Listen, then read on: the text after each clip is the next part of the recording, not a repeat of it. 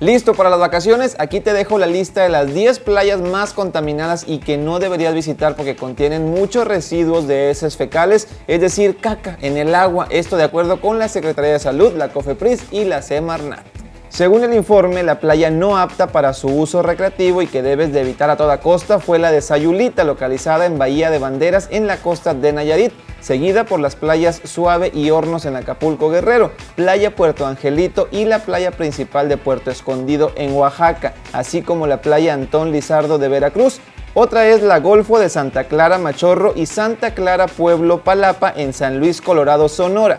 también la playa de Santiago en Manzanillo, Colima y por último las playas norte y centro en Isla Mujeres, Quintana Roo.